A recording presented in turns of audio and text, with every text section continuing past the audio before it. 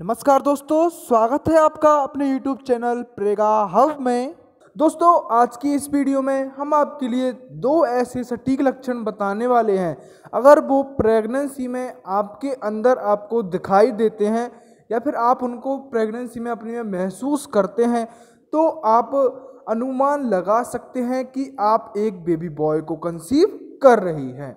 तो दोस्तों वीडियो में बने रहें और वीडियो को स्किप ना करें।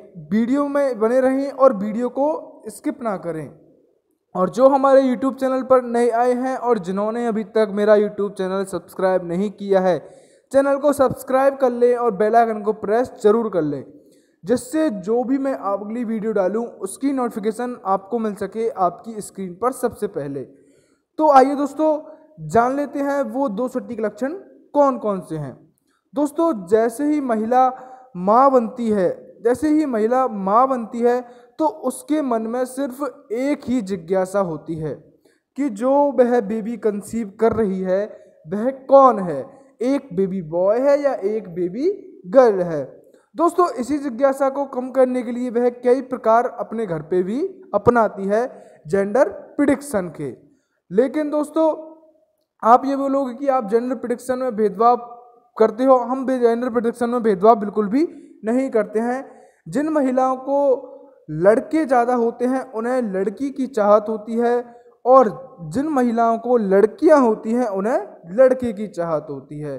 दोस्तों, ऐसा कुछ भी नहीं है कि भेदभाव करना भेदभाव करना में कोई अंतर स्पष्ट नहीं है, क्योंकि लड़का हो या लड़की, दोनों ही अपने माता पिता के लिए समान होती है। इसलिए दोस्तों, लड़का और लड़की दोनों में से किसी में भी भेदभाव बिल्कुल ना करें और ना ही हमारा चैनल इस बारे में कोई भी भेदभाव करता है। तो दोस्तों, जो पहला लक्षण होता है, वह होता है, अगर प्रेगनेंसी से पहले आपके जो पैर हैं, उन पर आपको बिल्कुल भी हेयर नहीं आते थे, यानी कि आते भी होंगे तो बिल्कुल भी कम आते होंगे। अगर प्रेगनेंसी स्टार्ट होते ही आपके पैरों पर घने बाल या फिर घने बाल आने लगे हैं और आपका पैर आपको भरा भरा सा बालों से दिखाई देने लगा है। तो आप अनुमान लगा लें कि आप एक बेबी बॉय कंसीव कर रही हैं, यानी कि आप एक बेटे को जन्म देने वाली हैं। और दोस्तों, जो दूसरा सिम्टम होता है, वह होता है अगर प्रेगनेंसी में आपको, आपके जो सर के बाल हैं, वह बहुत ज़्यादा झड़ते हैं और आपको पूरी प्रेगनेंसी में ज़्यादा गुस्सा रहता है यानी कि पूरी ही प्रेगनेंसी लगा लो कि आपको गुस्सा हमेशा ही बना रहता है। आपको छोटी छोटी बातों पर गुस्सा आता है। कोई आपको अच्छे के लिए बोलता है तो भी आपको उस पर चिड़चिड़ापन आता है। तो भी आप तुरंत अनुमान लगा लें कि आप एक बेबी बॉय को कंसीव कर रही हैं। तो दोस्तों, ये थे वो दो लक्षण। अगर पसंद आए तो वीडियो को लाइक करें, चैनल को सब्सक्राइब करें। मिलते हैं ऐसी ही अगली इंटरेस्टिंग जानकारी के साथ। जब तक के लिए थैंक्स फॉर वॉचिंग